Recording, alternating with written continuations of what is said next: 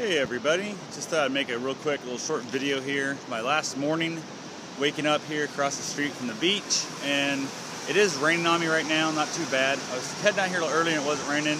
By the time we got things semi packed up and ready to get out of here, it's raining pretty good now. So I'm not gonna go for a walk on the beach like I'd hoped for, but oh well, I'm out here by the water. I'm gonna run down to the water, you know, the shore there and get my shoes all dirty for the trip home. Might as well. So went ahead and just had a great time out here. Just I don't know, waking up next to the ocean sounds and the smells and stuff, it's kind of a nice feeling. So that's all I got for now. I'll talk to you guys soon.